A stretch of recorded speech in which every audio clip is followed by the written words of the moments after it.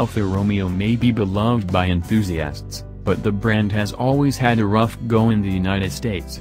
Sure, we may look back fondly now at cars like the Spider, Milano, and Giulia, but those models never had the impact of their German or British rivals.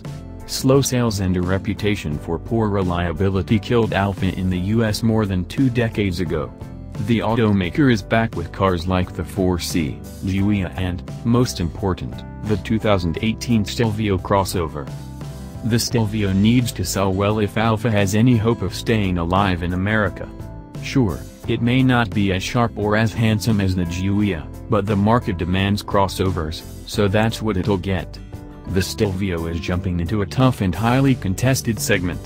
Rivals like the Porsche Macan, Jaguar F-Pace, BMW X3 and Mercedes-Benz GLC class are all strong competitors with handsome styling and sporty driving dynamics. The Stelvio is going to have to really shine to make a dent. Associate Editor Joel Stocksdale, the Alfa Romeo Stelvio feels very much like a bigger, taller Giulia. While this does mean that it feels a bit less nimble and frisky, it also means that it's one of the best drivers in its class. Under the hood is the same turbocharged 2.0-liter four-cylinder making 280 horsepower. It feels just right for this crossover.